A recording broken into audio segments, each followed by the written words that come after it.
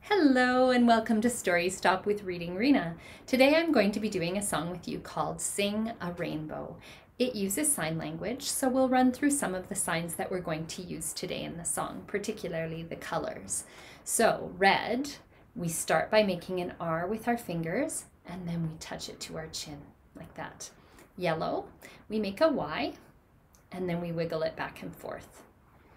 Pink, we're going to make a P. This is how we make a P. And then we're going to touch it to our chin.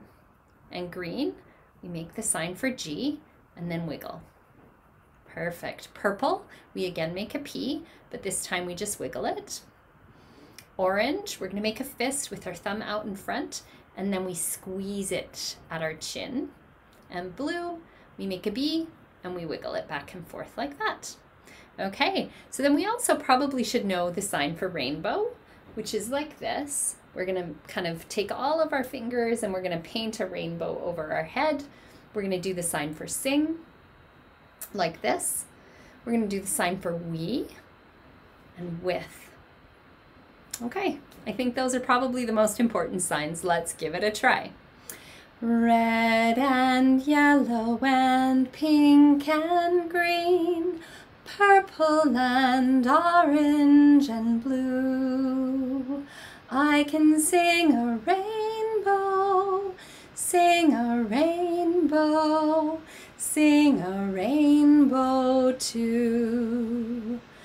Listen with your eyes, listen with your eyes, and sing You can sing a rainbow, sing a rainbow, sing along with me.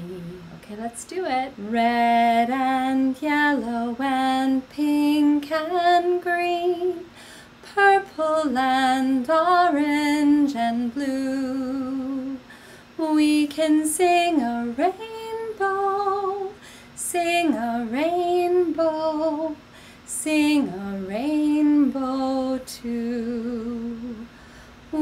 can sing a rainbow, sing a rainbow, sing a rainbow too.